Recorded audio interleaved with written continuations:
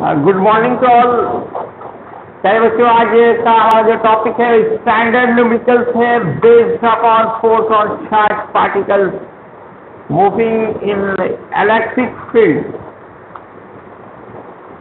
कोई charge particle किसी electric field में मूव कर रहा हो या फिर वहाँ पे लाई कर रहा हो ऐसे कंडीशंस में क्या फोर्स लगेगी, क्या डिस्प्लेसमेंट होगा, क्या एक्सलेशन होगा पे बेस्ड आज इंपॉर्टेंट स्टैंडर्ड न्यूमेरिकल्स होने जा रहे हैं, पहले दो ऑब्जेक्टिव दिख रहा होगा। क्वेश्चन नंबर वन पूछा जा रहा है। क्वेश्चन नंबर वन नहीं नाइनटीन नंबर एक इलेक्ट्रॉन किसी इलेक्ट्रिक फ़ील्ड के डायरेक्शन में ही इन कर रहा है। इलेक्ट्रिक फ़ील्ड के सेम डायरेक्शन में। जब सेम डायरेक्शन में अगर हो तो ऐसे कंडीशंस में वो एक स्ट्रेट लाइन से चलता है।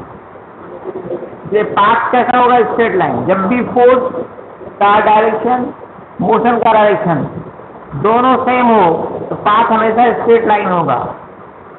लेकिन अगर फोर्स परपेंडिकुलर लग रहा हो तो पाथ हमेशा पैराबोलिक होगा। पाथ का शेप हमेशा पैराबोलिक अगर परपेंडिकुलर लग रहा हो। अगर सेम डायरेक्शन में लग रहा हो तो ये हमेशा स्ट्रेट लाइन होता है दोस्तों।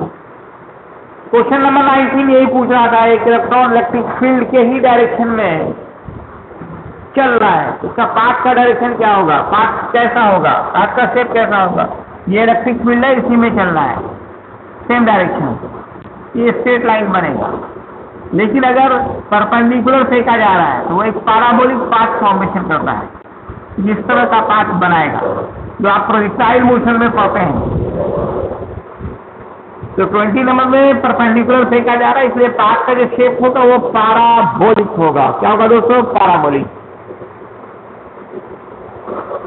क्वेश्चन नंबर 24 जो है, इस तरह का बहुत सारा क्वेश्चन हम लोग देख चुके कि कोई इलेक्ट्रिक फ़ील्ड हो, उसमें कोई ऑब्जेक्ट फ्रीली हैंग कर रहा हो।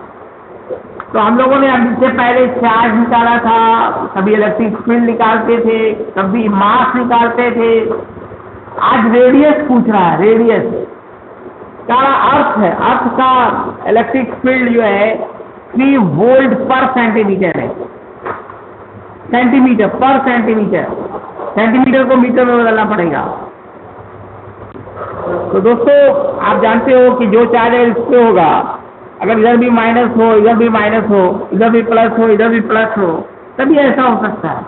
लाइट चार्जेस रिपेल इच या इलेक्ट्रॉन की बात हो रही है तो इलेक्ट्रॉन का एक वाटर ड्रॉप है, जो हवा में लटक रहा है। कैसे? Due to the earth electric field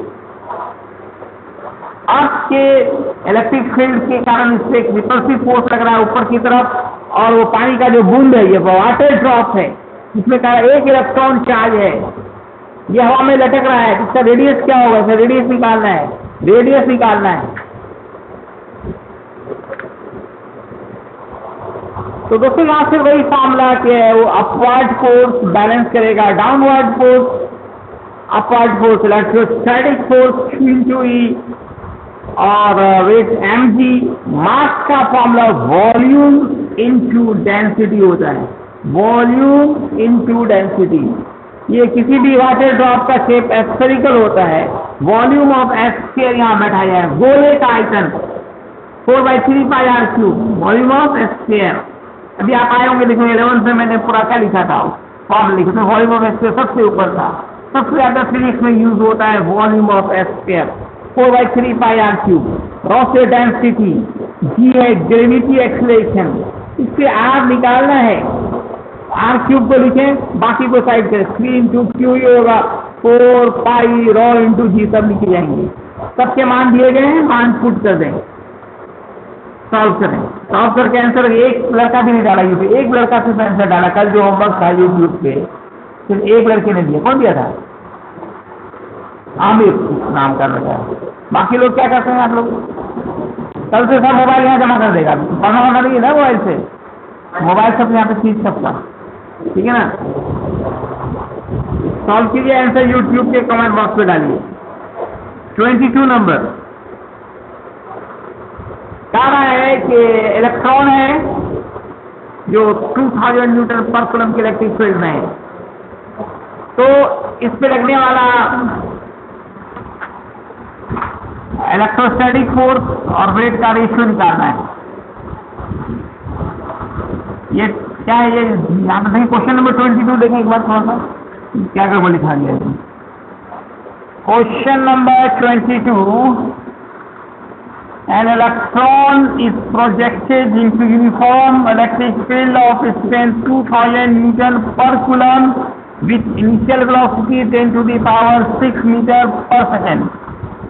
Perpendicular to the field, ये 10 पे पावर 6 मीटर पर सेकेंड दिया गया है वेलोसिटी ऐसे यहाँ पे वेलोसिटी का कोई काम है नहीं आपको सारा calculate ratio what is the ratio of electric force on electron and speech vertically upward फेंका जा रहा है। तो इलेक्ट्रोस्टैटिक फोर्स ऊपर लग रहा है और वेट किधर लग रहा है? डाउनवर्ड इस दोनों का रेशियो पूछा जा रहा है। What will be the ratio ये बैलेंस नहीं है अभी यहाँ पे। क्यों? ये ऊपर जा रहा है। क्यों जा रहा है ऊपर की तरफ़। बैलेंस में होने का मतलब होता है कि ये किधरों नहीं जाता हवा में लटकता रहता। इतना ज़्यादा वेलोसिटी से जा रहा है टेन टू दी और सिक्स मीटर पर सेकेंड इसका मतलब फोर्स बड़ा होगा किससे वेट से तो सारा ऐसे कंडीशन में फोर्स और वेट का क्या रेशियो होगा? रेशियो निकालने के लिए क्या करते हैं? डिवाइड करते हैं। फोर्स का formula Q into E weight का फॉर्मूला एम जी सब मान दिए गए कैलकुलेट कीजिए। तो देख सकते हैं काफ़ी ज़्यादा स्ट्रॉन्ग फोर्स लगा। Ten to the power thirteen है इंटू वन आया। तो ये ऊपर की तरफ़ जा सकता है। जब इलेक्ट्रिक फ़ील्ड द्वारा लगाया गया फोर्स वेट से ज़्यादा होगा, तभी ऑब्जेक्ट किधर जाएगा? ऊपर जाएगा। एफ़ ग्रेटर होगा एम ऊपर जा रहा है। इसको बुक सेकेंड लास्ट क्वेश्चन का रहे electron is projected into uniform electric field of thousand newton per coulomb with initial velocity q into 10 to the power 6 metre per second parallel to the spin calculate the distance travel electron before it broad numerically to the मतलब क्या कह रहा है question number 23 एक uniform electric field है इसमें एक electron को प्रोजेक्ट किया जा रहा है? Electron is projected you electron has negative charge electron पे निगेटिव चार्ज है। और आपको कल इस तरह का क्वेश्चन भी था। अगर कोई इलेक्ट्रॉन किसी इलेक्ट्रिक फ़ील्ड के डायरेक्शन में प्रोजेक्ट किया जाए जिसकी वेलोसिटी लगातार घटती जाती है। और फाइनली ये रेस्ट में आ जाएगी। सवाल यही है कि ये रेस्ट में आने से पहले पहले कितनी दूरी तय करेगी? यहाँ पे दो मिल रहा है इलेक्ट्रोस्टैटिक्स और मैकेनिक्स इस तरह के क्वेश्चन नीट आईसीजे मेंस के लिए काफ़ी इंपॉर्टेंट हो जाते हैं। क्वेश्चन पूरा स्ट्रेट फॉरवर्ड नहीं होते कॉम्पिटिशन में. मिक्स होते हैं. इलेवन ट्वेल्व दोनों के मिले हुए होते हैं. तो यहाँ पे क्या कंसेप्ट लगेगा? आ, आप इलेवेंथ में पढ़े वर्कडन का फॉर्मूला फोर्स इंटू डिस्प्लेसमेंट और वर्कडन इक्वल होता है चेंज इन काइनेटिक एनर्जी ये वर्क एनर्जी थ्योरम करके पढ़ाया गया था इलेवेंथ में. Work energy theorem work done equal change in kinetic energy ये रेस्ट में रह रहा है. पहले भी वेलोसिटी था, बाद में जाके रुक गया, बाकी बाद में रुक गया तो काइनेटिक एनर्जी ज़ीरो हो गया बाद में। ये यही पूछ रहा है कि कितनी दूरी तय करेगा? रुकने से पहले पहले ये इलेक्ट्रॉन कितनी दूरी तय करेगा? क्योंकि इलेक्ट्रॉन पे माइनस चार्ज है इधर प्लस चार्ज है प्लस माइनस में एट्रैक्शन हो रहा है फोर्थ वेलोसिटी के अपोजिट डायरेक्शन में लग रहा है।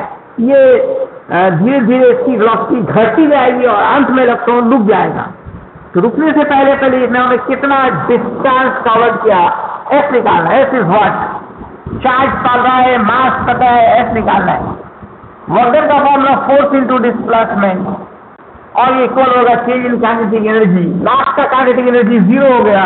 इसलिए मैंने डायरेक्ट लिखा है half M V square force यहाँ पे इलेक्ट्रिक फ़ील्ड के द्वारा लगाया गया। फोर्स क्यू इंटू ये होगा। डिस्प्लेसमेंट एस माना। यही एस निकालना है। बाकी को नीचे भेजिए। यहाँ पे मास ऑफ़ इलेक्ट्रॉन 9.11 होता है इसको आप लगभग नाइन मान सकते हैं। अप्रॉक्स में कैलकुलेशन कीजिए। ज़्यादा टफ कैलकुलेशन हो तो उसको, है ना, दिमाग लगा के, है ना शॉर्टकट भागिए। ज़्यादा कैलकुलेशन में टाइम बर्बाद करेंगे तो फिर आगे क्वेश्चन नहीं बना पाएँगे आप। जो नाइन पॉइंट वन वन को नाइन मान सकते हैं आप। बाकी सारे मान दिए गए सॉल्व करें और डिस्टेंस निकाल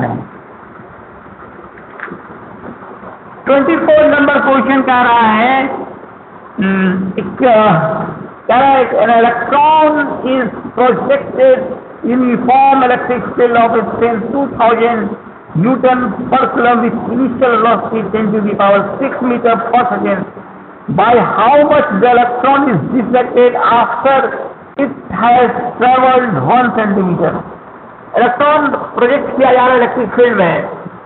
तो ऐसे कंडीशंस में इस पे फोर्स लगने की वजह से ये जो है कुछ इस तरह से डिफ्लेक्ट हो रहा है। इलेक्ट्रॉन पे माइनस चार्ज है, इधर कहीं प्लस चार्ज है तो क्या होगा अट्रैक्शन होगा और इसको क्या करेगा? थोड़ा ये डिफ्लेक्ट होगा।